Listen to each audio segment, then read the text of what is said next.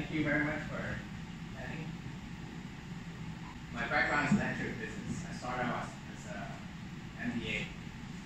And then later on, I uh, came back to Hong Kong and went to uh, School of Design, where I learned design. And I'm always interested in design. So I decided uh, if I want to get a different degree, I might as well do design. So I love social innovation. So I do a lot of research on like aging and uh, kids and stuff like that. And um, I did a little bit of product design. Uh, this air purifier over here uh, actually started out uh, from understanding what air pollution is all the way to the shape.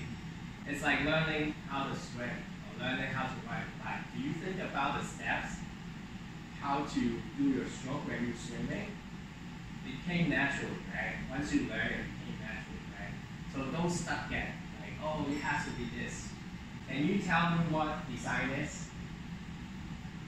Just based on your own experience, right? So how did they come up with something like that? They actually use design thinking. Right? You start with empathy, understanding what the customers need.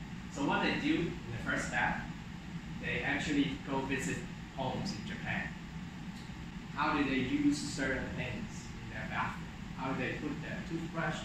You know, how do they cook? Or even when they travel, how do they pack? And how do they store the luggage? So innovation is not really about inventing. It's finding new ways to apply something. Right? Anybody can create. Anybody can design. Don't don't just like talk to yourself like, oh, I'm not a creative person. I don't know how to design. Okay, maybe you're not good at drawing. You're not good at computer graphics or whatever, that is only part of design, part of the craft, right? Your brain is the most important part. So as a designer, you do a lot of this. How did they come up with the gold one? And more importantly, why? So many colors. Why gold? You look at this, like it's not even about cars. It could be anything. And it's the same thing as Apple, right? And the requirement of business success.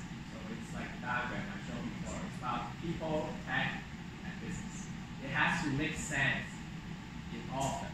Can you tell me the difference between customers and users? Very different. But if I want to say I want to make the users who use this bridge happier, or to make them want to use the fridge, then it becomes a human problem.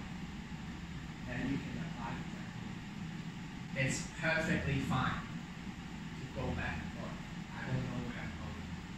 Right? Your boss asks you like, you know, how's it going? Right? I don't know where I'm going. But we we're collecting a lot of data, we talk to a lot of users, but we don't know yet. And that is perfectly fine. Right? So once you find out the patterns, and you start to have some start to have clear idea. And when you actually do the design, you're very focused. Going like this, right? And then at some point I kind of go like this, right? So it's it's it's just uh, the concept of uh, divergent thinking and convergent thinking. How many of you experience something like you you see a new restaurant that opened in your neighborhood and then like within maybe three or four months is closed. Ran out of business, right? How many of you experienced that? I experienced that. Automat- people would automatically go to the restaurant. Right? You never understand people's needs. So if I don't use design thinking on this problem, what do you think they would do? Design a, a better machine, right? Hire more anesthetists uh, to, to come in, to do put more kids to sleep, right? So all this may be a good solution, maybe not. And even if you think about it, designing a new MR machine costs millions and millions of dollars, right? How much does this cost? Not much. And can you do it in like one month? Yes. Right? So reframing the problem. It's not about the machine, it's about how kids feel about the machine. So the tool we use as designers is this. Is this is called an empathy map. Okay. At the end, we want to group them together. It's called customer. We try to find out if any of the ideas they have some similarities or they try to solve a particular problem, and then we group them together and then try to draw something on, on top of that. Can we combine them? Or can we uh, develop the, the idea further? That's why we, we cluster. You all know Steve Jobs, right?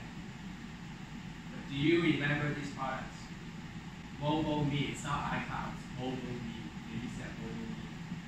So the fact is, uh, it was like a trick question. Sometimes I ask, like, you know, oh, he's so innovative, he created so many things, but all of these were failures. These are the products that were successful, right? So without Mobile Me, the failure of Mobile Me, there will never be iCloud.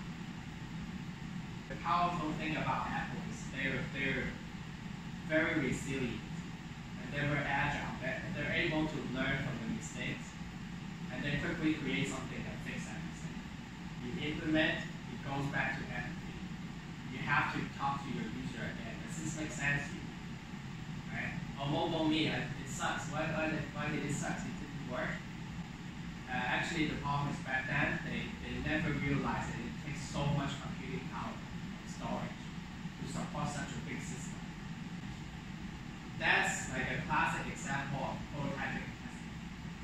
It costs like almost no money except for gas at this time, right? So he understands.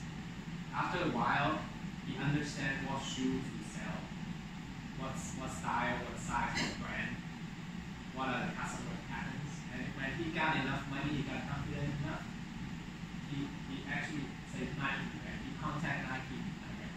Hey, I want to buy X number of shoes from your wholesale. And then he started doing that from, uh, And you can tell the final product is actually very simple. Right? So just selling the idea, right? You don't have to spend millions of dollars building something like this in the first step. It costs too much money. The text is some of them are insights. So they actually they uh, they observe or they try to surface themselves or they talk to customer to come up. For this particular project, it's easier to break it down into smaller elements because it's like a redesign of a big, bigger place. And this place has more than one function. Right? So you try to break it down into finding out how many functions are there, what's doing good, what's not working, what are the pain points. Right? If you never fail, you never try anything innovative. Okay? Build, measure, learn, validate. Not just design many business model So that's it. Thank you very much. Thanks for coming. I really appreciate it.